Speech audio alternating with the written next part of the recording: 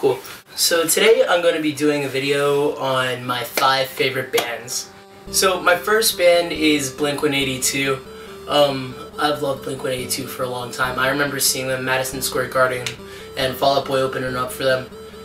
Uh, and seeing Travis Barker's drum solo, and I remember being in awe because uh, his drum set was suspended.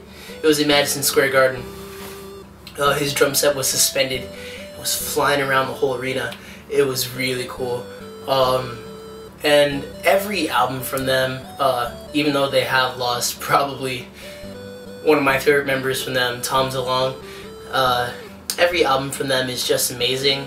Uh, I heard that they're going to be recording this year, and I can't wait to hear. Um, and I heard that they might be going on tour. And I think it was two years ago. Yeah, two years ago. I remember seeing them in a much smaller venue, uh, Starland Ballroom.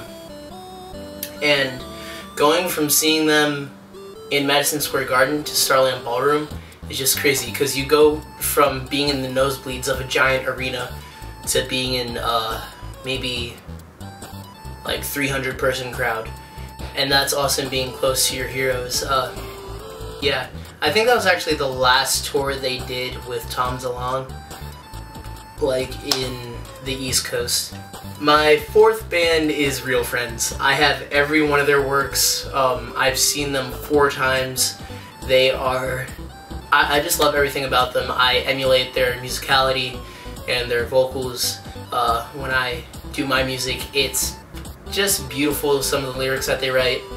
I can put them on at any time and it just like fits the mood. Uh, whenever I listen to Real Friends, I either think of autumn or like toward the end of summer, like that euphoric feeling at the end of summer. And I just love that. My third band is Neck Deep. Neck Deep is amazing. I've seen them twice.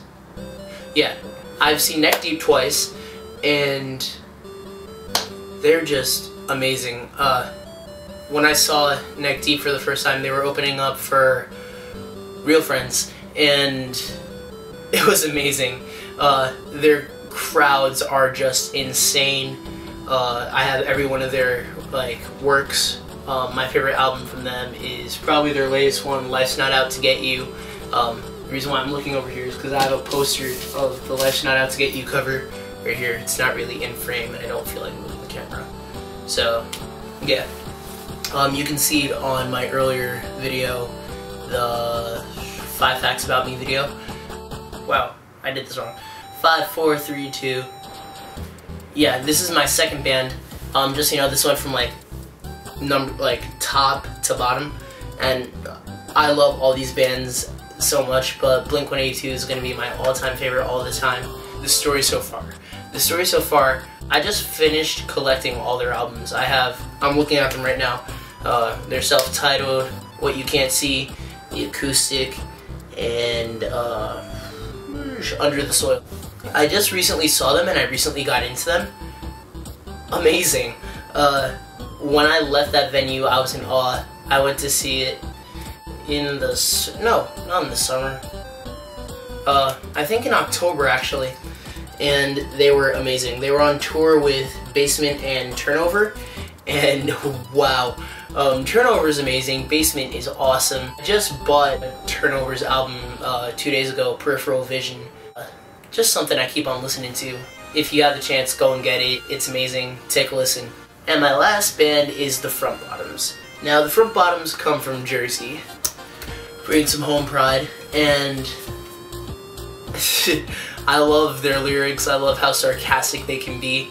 Um, the vocals aren't amazing, but I just something about it makes me love him so much. I remember being seventh grade, and my art teacher every four times a year throws uh, like poetry slam reading, and this guy uh, named Doug, he sang more Than It Hurts You, and he played acoustic. And th the lyrics to that just make me smile and make me happy. I don't know why, because it's not really the brightest song, but it just makes me smile and happy. I love that band. I have every one of their albums. my favorite album from them is probably self-titled because it just I can jam along and scream every word of that album. It's just beautiful. And uh, if you have the chance, take a listen to Back on Top. It's their new record. It is amazing. It, it's beautiful. Yeah, that's it. So uh, remember to like and subscribe and uh, love yourself. Bye.